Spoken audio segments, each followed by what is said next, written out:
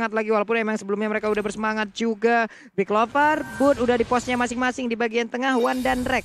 Berjalan bersamaan ada kode promo playoff MPL ID X Grab sampai dengan 70% ya buat teman-teman buat pengguna baru jadi jangan lupa untuk kalian ambil dan juga kalian manfaatkan.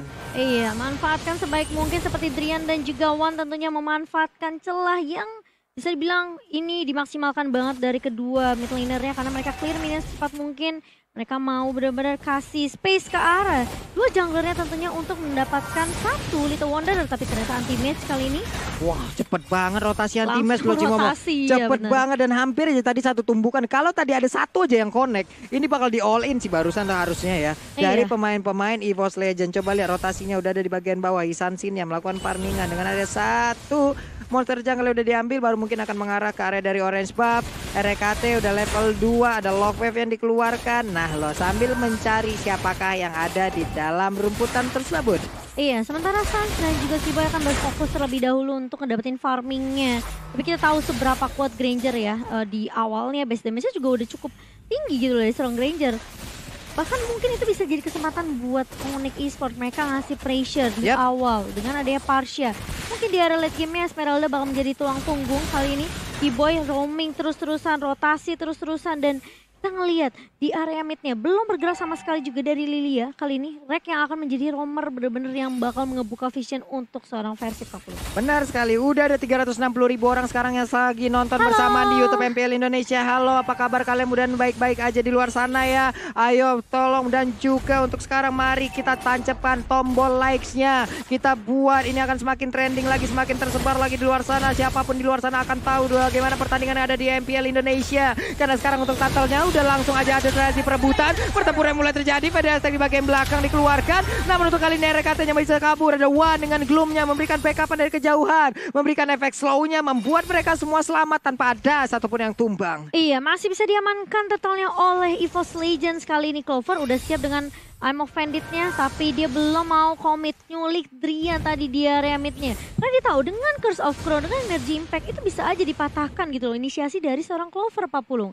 Kiboy masih rotasi belum punya Tyrant Rage karena dia masih level 3 tapi One lihat dengan level 5-nya dia benar kasih pressure habis-habisan Versik udah mulai masuk ke area jungle dan ada satu dari CW mencoba untuk menahan pergerakan dari Versik terlebih dahulu Papulung. Tapi Rek ini sendirian terus Reknya. Tapi bakal coba dimajuin kali ini ada Falling Sarmo dari seorang Boots. Antimat mulai mencoba untuk mengcover tapi ada bouncing ball dari seorang Keyboy. Mencoba untuk menahan ada hardcut juga dari seorang Rek masuk ke dari seorang Antimatch. Tapi main dari Onyx sadar akan hal itu dan mereka tidak mau memaksakannya. Kabur langsung masih bisa selamat ada movement speed tambahan.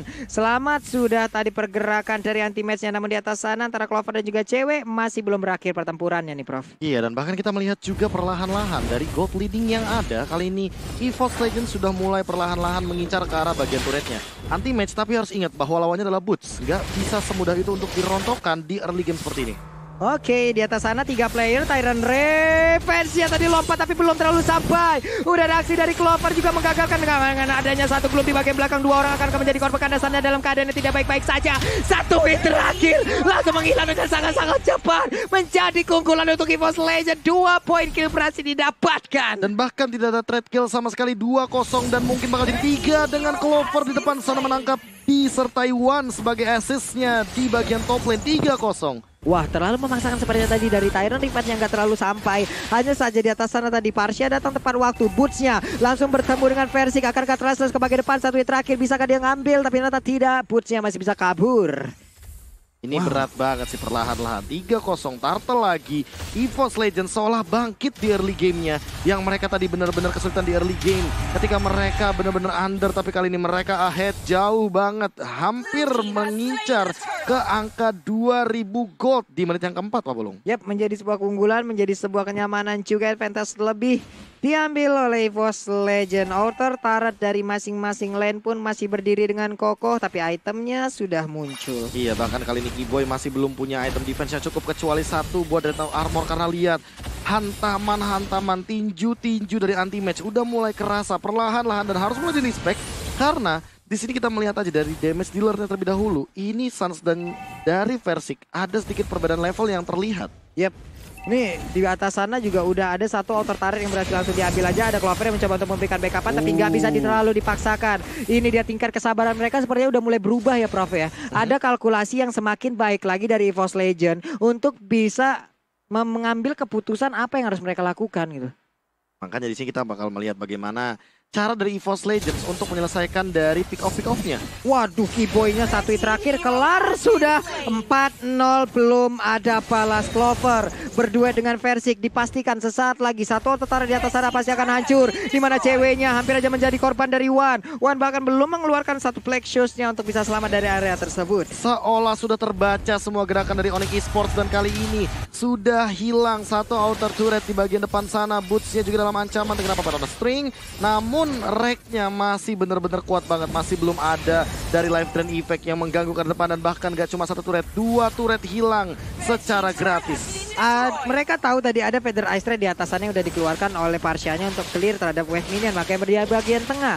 Mereka berani untuk langsung masuk. Dipastikan tidak akan ada high ground. Mereka pastikan tadi dengan ada sisi kanan dan sekarang tiga objektif langsung remuk atas, tengah, bawah. Rugi bandar. Ya dan bahkan masih ingin lebih tentunya Versik benar-benar harus jaga posisi Clover udah punya satu Oracle Kuannya udah punya Necklace of Duren Semua life drain yang dimiliki sama EVOS Legends akan sangat berpengaruh bagi teman-teman dari Onyx Esports Karena kali ini lihat invasi jungle-nya Clover sudah mulai hadir dan bakalan memberikan satu purple buff untuk Versik Waduh diinvasi sampai dalam-dalamnya banget dan sekarang purple buff-nya berhasil diambil Turtle. Terbuka dengan bebas. Akankah ada kontes yang berani dilakukan oleh pemain dari Onyx Esports karena di atas sana ceweknya udah dipastikan akan sesaat lagi sebelum tadi satu divine judgment dia berhasil menarik langsung karena satu play dari Force Legend nanti berhasil mundur tapi berhasil membawa satu poin kill lewat Kaja. Dan ini benar-benar langsung mengajukan banget 5-0 tanpa balas. Kaja dari cewek juga harus tumbang dan bahkan Drian agak sedikit kelimpungan. Dia mau defend ke arah mana? Ke arah mid kah? Ke arah top lane kah? Karena semua lini benar-benar seolah termakan oleh EVOS Legends. Iya, nah ini setuju banget. Makanya ini pressure yang bisa diberikan sama EVOS Legend kali ini. Tanpa balas dari Onyx Sport tapi bakal ada yang offended dari Clover kali ini. Bakal coba untuk mengejar Keyboy membalas dengan Tyrant Revenge tapi lihat versiknya mulai masuk dan killing spree Oh. dari seorang versi kali ini. Tapi Keyboy Tyrantnya connect tapi nggak ada follow up dari Onyx Sport kali ini. Dan bahkan Keyboynya hilang begitu saja Pak Pulung. Wow, wow, wow. Coba lihat ini masih di bawah menit 8 tapi inner turretnya udah langsung dihancurkan. Satu inverted turret bisa aja akan menjadi korban tambahan. Ada snake video, ini dia snake time. Buat player favoritmu di snake video dan dapatkan kesempatan memenangkan skin yang spesial. Iya, setuju banget. Tinggal download aja aplikasi Snack Video di handphone kamu dan kamu bisa mendapatkan skin dengan cara memvote player favorit kamu tentunya. Ya, Federasi ini buka oleh Drian kali ini, tapi bakal mengusir aja pergerakan dari anak-anak EVOS Legend nih, Pulung. Oke, purple buff again and again berhasil diambil. Berhasil diamankan dan itemnya ini dia, Prof. Iya, ini masih jauh banget dari itemization yang dibutuhkan oleh teman-teman Onyx Esports untuk menyusul ketertinggalan karena 6 gold differences. Aha. Bahkan dengan satu Oracle ini bakal jadi penyelamat banget bagi Clover dan bahkan reknya udah punya favor plus. Ini bakal menuju ke arah satu lagi Dominance Ice agar memberikan efek life drain tambahan dari teman-teman EVOS Legends-nya. Wow, udah semakin pede lagi sih harusnya ini dari versiknya. OTW menuju ke arah Endless Battle. Sesaat lagi ini akan jadi juga. True damage-nya jadi.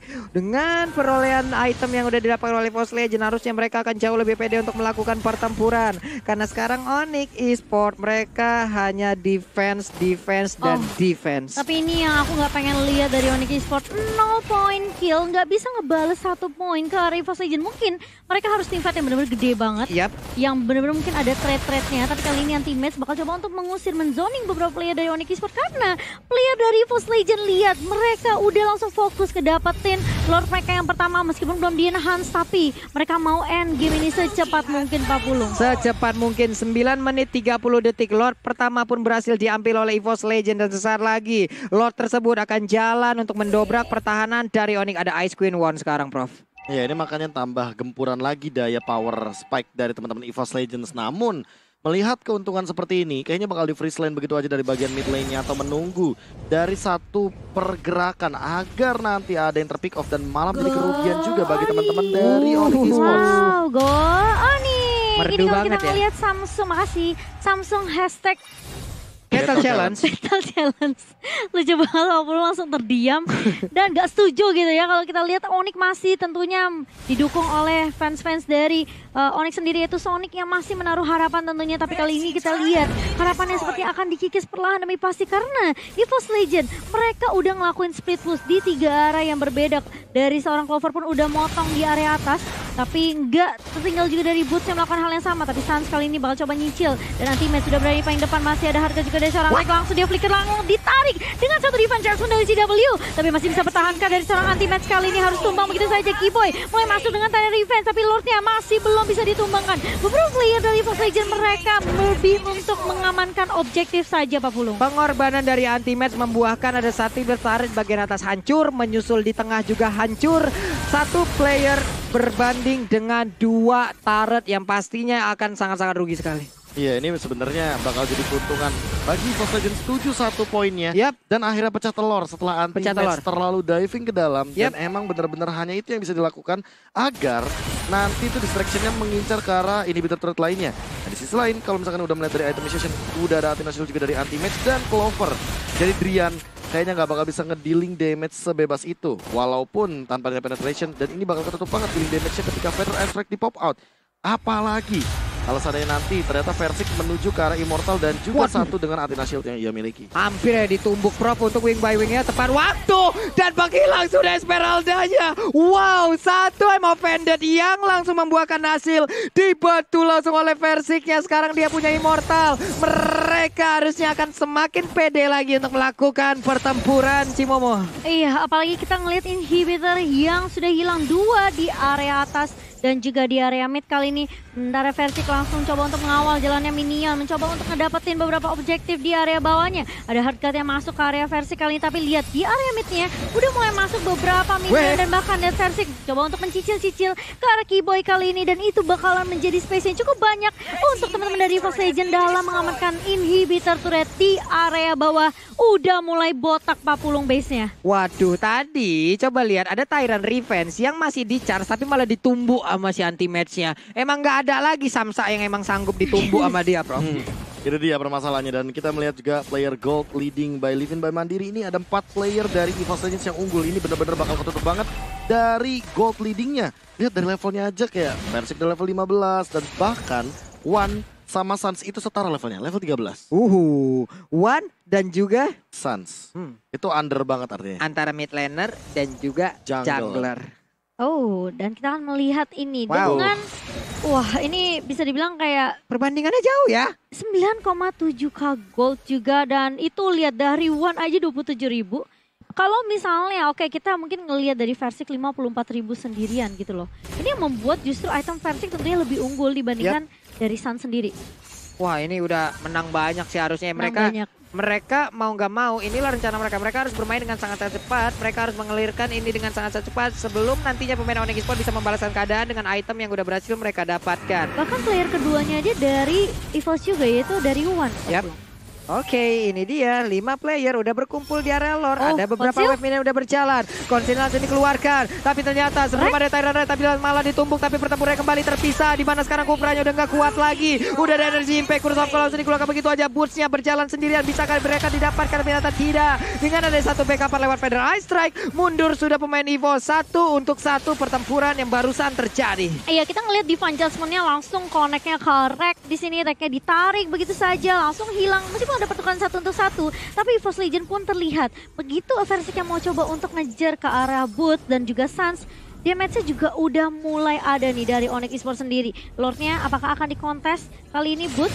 Masih punya Falling Starmon tentunya si W. Juga bakal menunggu terlebih dahulu di Adjustment-nya tapi ada satu tarikan mau dari Clover. Kali ini bakal coba dikejar. Begitu saja Antimax sudah mengejar. Dan Sans kali ini yang menjadi target pertama yang tumbang. Keyboard Terror Revenge yang gak connect begitu saja karena terlalu masih cukup terlalu jauh. Tapi si W yang akan menjadi target jalan. berikutnya. Minionnya udah mulai masuk dari area atas kali ini. Versik dengan full HP dan bahkan ada hard guard dari seorang RKT mencoba untuk memaksakan tim fight kali ini. Ditarik Wow. lagi. I'm offended dari seorang Clover Boots-nya hilang begitu saja. Menyisakan Keyboy sendirian saja yang juga langsung hilang. Dan bahkan ini wipe out balasan lagi dari Wow. Legend. 14-2 dan diselesaikan di